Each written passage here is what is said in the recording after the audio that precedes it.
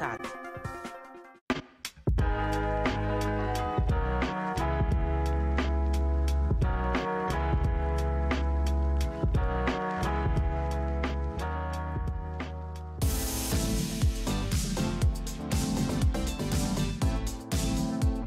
India's longest running show on startups and entrepreneurship, Young Turks, turns 21.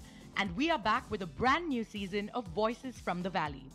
This season, we bring you stories from the front line of what's being called the biggest technological innovation of our times generative AI.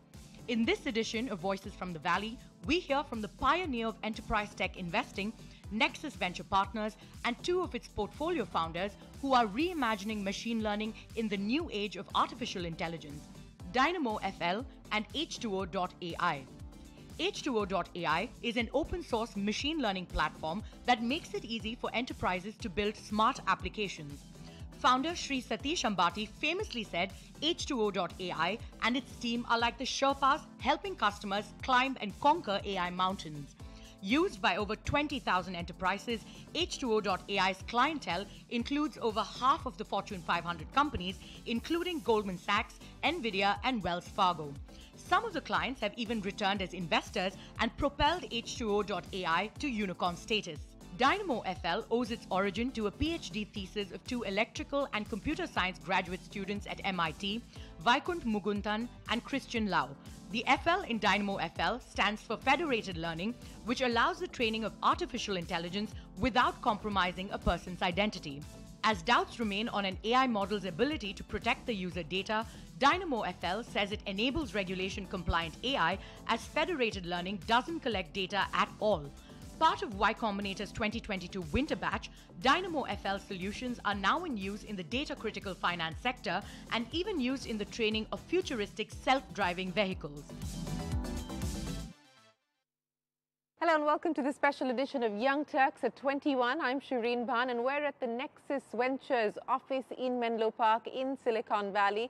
Nexus, as you know, has been prominently featured on Young Turks over the past two decades as part of our journey. They started in 2006 and today have assets under management of over $2 billion, invested in several Indian startups, many unicorns and many companies that have gone public, including the likes of Delhivery and Zomato. Joining me today is the managing director of Nexus. Jishnu, thanks very much for joining us. And since this trip, we are talking about what everybody's talking about, and that's AI. We have with us two of Nexus Ventures AI portfolio companies, Shri and Vaik. Many thanks for joining us here on Young Turks. Let me start, Jishnu, with you. A big uh, fund closing that you've done, the largest ever of over $700 million. What are you going to do with all of this money? so, first of all, I would say we are fortunate to have the uh, backing of our of some incredible limited partners who have been with us for uh, throughout our journey of 16 years. And we are super excited to be able to have the opportunity to work with entrepreneurs like Vaik and Shri. And that's what we want to do. Our intention is to partner with really exceptional people and help them uh, realize their dreams. So that's what we would do. We specifically expect to be investing a lot in AI because where AI is today, we feel AI is going to transform every industry as we know. Mm. Um, and we also do uh, investments in what we call digital India, which is digitization of the economy. Uh, but software is everywhere, AI is everywhere, and uh, that specifically also from founding, we had our focus in of investing in US and investing in India. Mm. You know, one fund and one team. Yeah, and you're talking about AI, which clearly everybody else is talking about at this point in time. Do you fear that there is a little bit of a gold rush uh, situation going on at this point in time in the investor community when it comes to AI? It, it, it is like, you know, like I think, okay, two things I will say. Uh, in general, Silicon Valley and probably technology world is good in creating bubbles.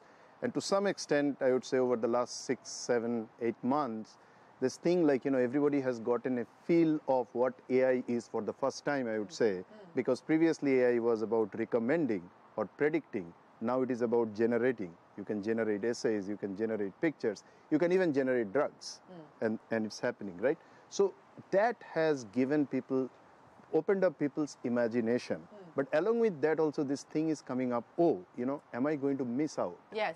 If I don't come in, like this this famous phrase of fear of missing, missing out. out. Yes. We are probably getting inundated, probably getting pitched by five startups a day who Five are AI all startups doing a day, all yeah. doing AI.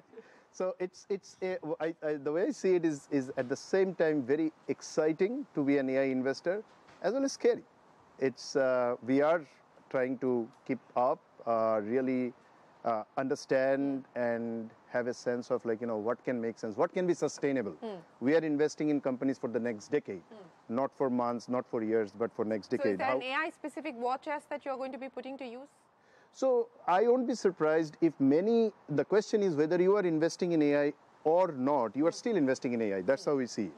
We are investing in all industries, right? Like, you know, we have software, we have digitization of education, healthcare, uh, commerce. So across uh, industries we are investing, but I would expect whether you're building a consumer company or an enterprise company, it's almost inevitable in some way or the other you will be using AI or will be benefited uh, by products who are using AI. Okay, so let's continue to talk about the opportunities that the AI world presents and companies that are hoping to leverage that opportunity. Shri, you've been around for a while now. You started way back in 2011. And here's what I'm intrigued with. You say we're like the Tenzing Sherpas of the AI mountains, helping our customers to traverse and conquer AI peaks. What does that mean exactly? What are you hoping to do?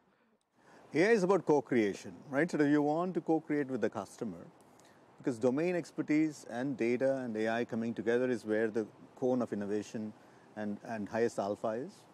We are unlocking that amongst our customers. Most of our customers are transforming the entire organization. So one of the things that Gen AI has done is unlocked tremendous value across the whole organization, not just whether marketing or customer success or product. You're able to now bring AI to the entire organization, make it all decisions be driven by data and learning from experiences you're providing to your customers. And it's all conversational. So you're having a conversation with uh, your customer continuously. So that needs uh, companies to like, be trust. They need to trust the AI. They need to climb these mountains, and these mountains are transformative. Uh, most of the time, these uh, most of our customers are competing sometimes against tech giants themselves. As a result, they need to have that uh, true trusted partner who can walk them through that uh, last mile. Okay, so as a trusted partner, how many clients at this point in time, and specifically across which industries, are you hoping to walk the mountain with? So financial services was the earliest That's adopter for us, yeah. of course. Uh, telcos are some of the largest customers for us uh, globally, not just here. Um, AT&T, Verizon, T-Mobile, but also in India, Reliance, and uh, globally. Uh, we are seeing tremendous adoption in life insurance, regular insurance, property and casualty, healthcare. Um, perhaps the biggest um, regions where AI can truly bring benefit to the world. We, are, we started the company with an AI for good mission. Is actually in education and, and democratizing health and bring equity globally. And what Gen AI has done is that increase the nonlinear uh, transformation across the economy for our customers as well as in the at large. And that means that they're consistently taking open source AI, which H2O is the leading uh, makers of open source. G- H2O GPT is the leading open source platform, uh, open source la- large language models, and democratizing, um, kind of powering that voice for every purpose. So what AI is doing as a LLM is it's giving voice to purpose.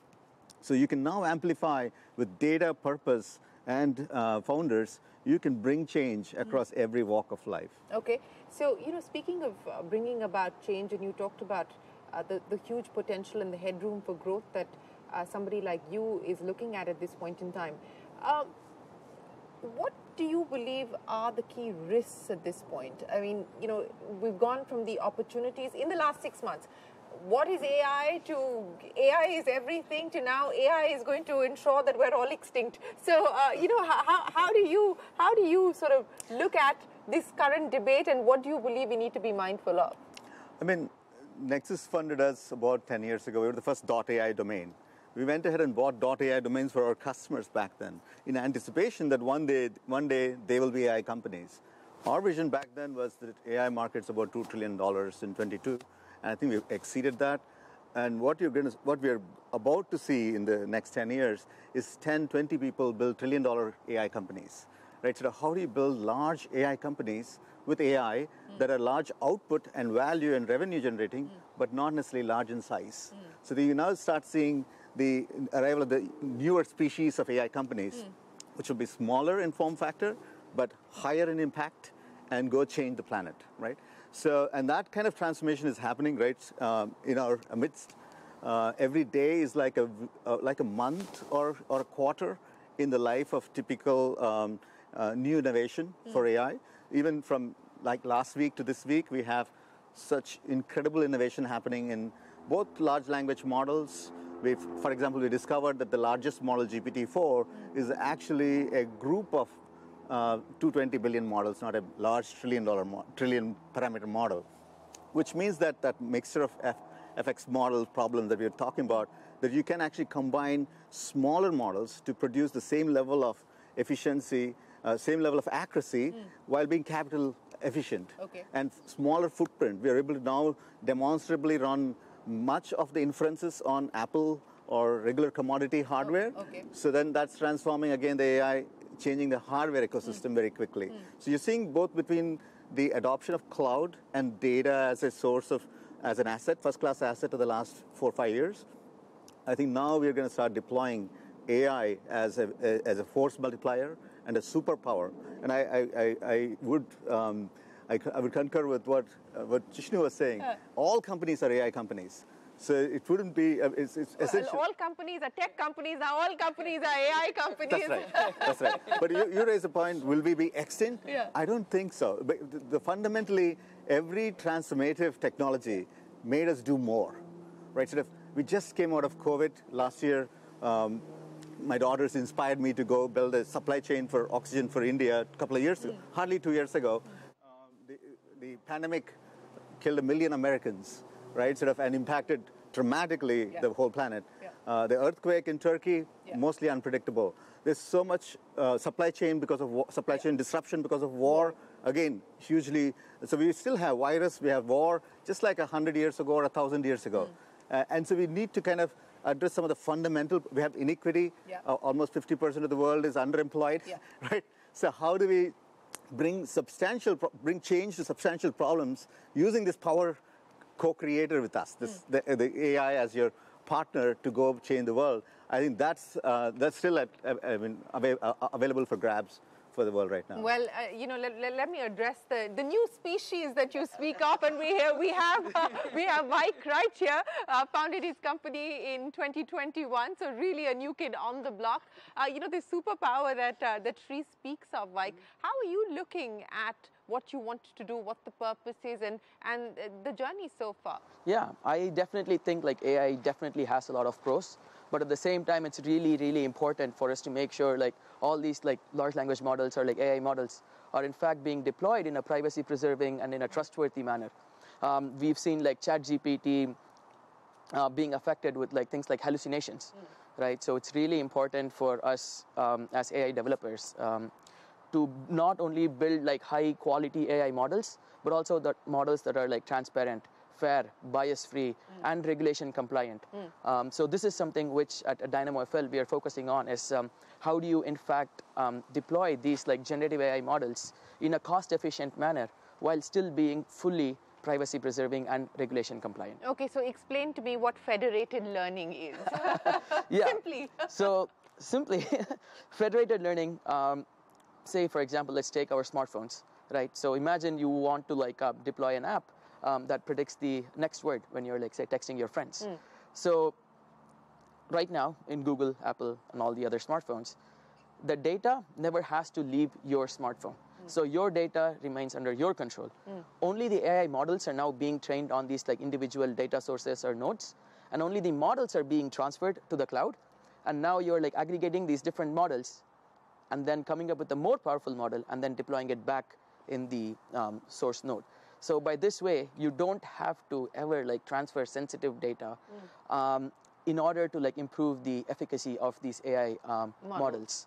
Yeah. So in a privacy preserving way, how do you in fact improve the um, AI models is what federated learning empowers.